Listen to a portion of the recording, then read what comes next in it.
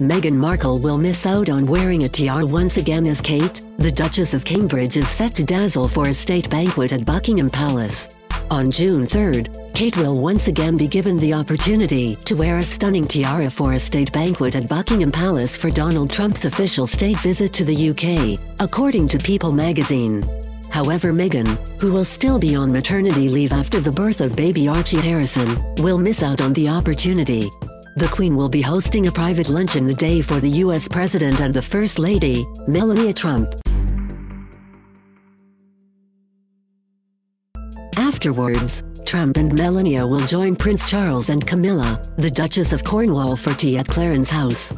Prince Harry will also be joining the royal family for the private lunch but without wife Meghan. Neither the Duke or Duchess of Sussex will be at the state banquet later in the evening. However, both Kate and Prince William will be attending. Kate was last seen sporting a tiara for the Queen's State Banquet in October for King Willem-Alexander and Queen Maxima of the Netherlands. During the banquet, Kate was seen wearing the Lover's Knot tiara which is sometimes called the Cambridge Lover's Knot. The tiara is one of the most well-known tiaras in the royal family's collection as it was a favorite of William's mother, Princess Diana.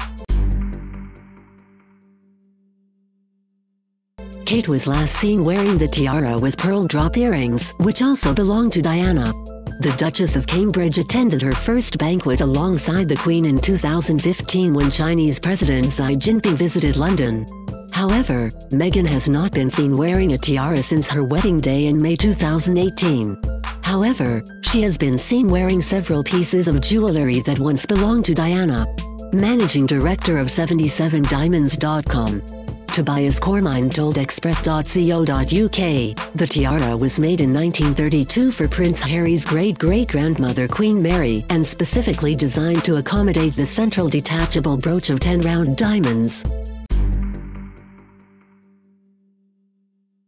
The brooch was given to the then Princess Mary in 1893 by the County of Lincoln on her marriage to Prince George, Duke of York. The future King George V. The bandeau and the brooch were bequeathed to Her Majesty the Queen by Queen Mary when she died in 1953.